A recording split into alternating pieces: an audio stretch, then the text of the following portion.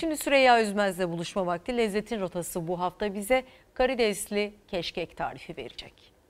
Geleneksel ve unutulmaya yüz tutmuş Türk mutfağının güzide eserlerini deniz ürünleriyle birleştirmeye çalıştık. Bakalım beğenecek misiniz? Bugünkü konumuz karidesli keşkek.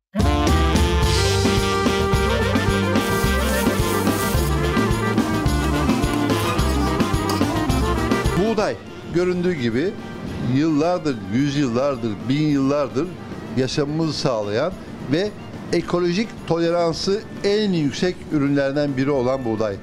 Nedir ekolojik tolerans? Ee, nereye giderseniz gidin insanın gittiği her yere çok kolay uyum sağlayabilen bir gıda maddesidir.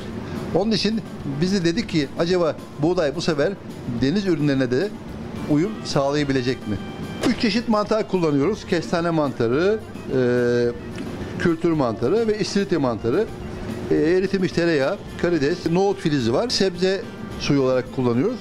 O da mevcut. Buğdayı önce 5-6 saat düdüklü tencerede kaynatıyoruz.